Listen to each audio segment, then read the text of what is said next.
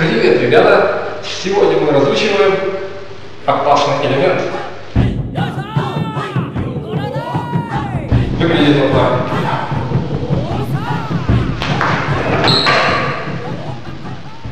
Элемент этот из колумбийского спорта джимбар.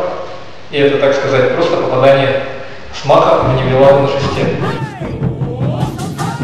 Что такое невелада и как ее сделать?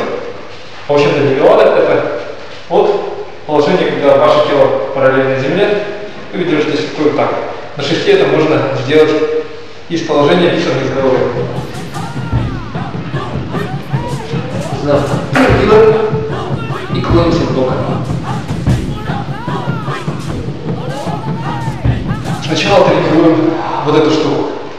Затем, чтобы э, попасть в нее с маха, вам нужно одновременно тренировать две вещи. Во-первых, запрыгивать с маха в это положение вниз головой. И во-вторых, тренировать на турнике э, йо-йо 360. Теперь по порядку. Сначала право в положение вниз головой. Можете постелить что-нибудь мягкое, пригласите человека, который будет вас страховать, чтобы вы не упали, не ударились вниз головой. Потому что падение вниз головой – это кошмар любого человека, который начинает учить ее индиоза. Все этого боятся. Поэтому все меры предосторожности нужно принять. Ставим руку примерно на уровень подбородка. Затем нужен очень сильный вымах вверх. И когда ваше тело уже будет вниз головой, нужно выпрямиться и прогнуться от поясницы. Выглядит примерно так.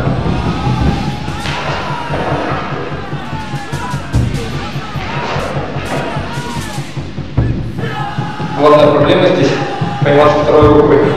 Но если вы сделаете достаточное количество попыток, у вас будет получаться все на автомате.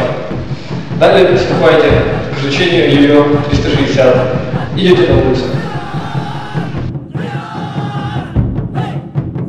Потом вы идете на улицу к ближайшему турнику и пробуете такую штуку, которая называется ее 360.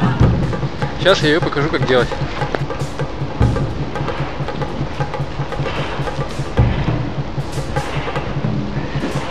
То есть вам нужно до автоматизма наработать попадание в невеладу. Вот так. Либо на турнике, либо на кольце. На кольце более сложно.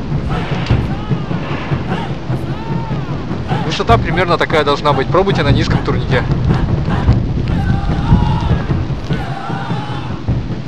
Когда вы до умопомрачения выучили ее 360, пробуйте то же самое делать на пилоне. Здесь есть одна особенность. Если вы делаете ее 360 на турнике, вы просто сильно выгибаетесь, кладете руку, кладете поясницу на руку, все, остаетесь в таком положении. Здесь толщина, скажем так, пилона плюс толщина руки.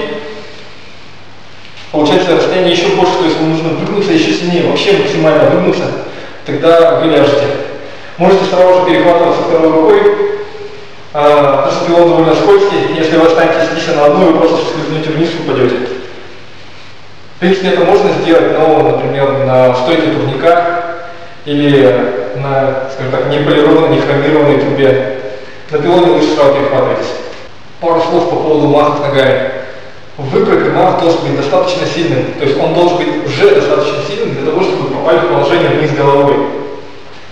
А когда вы делаете ее, то есть он должен быть таким, что должен продолжаться дальше, и ваш зад должен как бы перевалиться через вертикаль шеста и оказаться на этой стороне. При этом не нужно делать вот так, то есть как, как при обычном повороте, вы должны точно э, узнать момент, когда уже нужно выгибаться, как бы выгибать своим телом стол. То есть нужно синхронизировать именно толчок и выгибание. В этом вся фишка элемента. Прыгайте сильнее, сильнее машите ногами, не бойтесь. В принципе, ничего страшного не произойдет, если вы перемахнете.